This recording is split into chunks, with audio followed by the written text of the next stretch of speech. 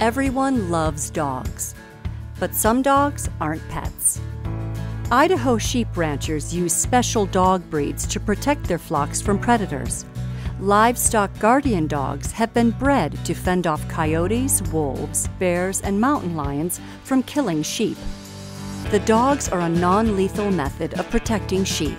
It's a long standing best practice used widely by sheep ranchers across the West because the coyotes and the wolves are the number one cause of mortality in our herds.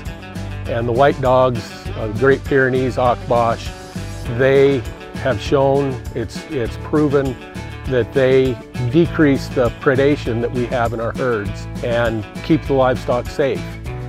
In the last year, a number of guard dogs were picked up by people on BLM or National Forest lands, thinking the dogs were pets that were lost or abandoned. But in fact, the dogs were not lost.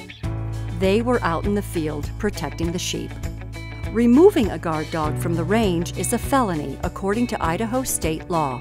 The dogs are out on the range for a specific purpose to protect the sheep. They aren't lost. Please leave them be. The advice is similar to finding a deer fawn in the woods. Please leave it be. If you have any doubts about a guard dog's safety, please check the dog collar for a number to call.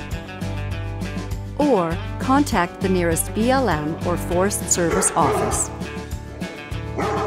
Please leave the dog in the field.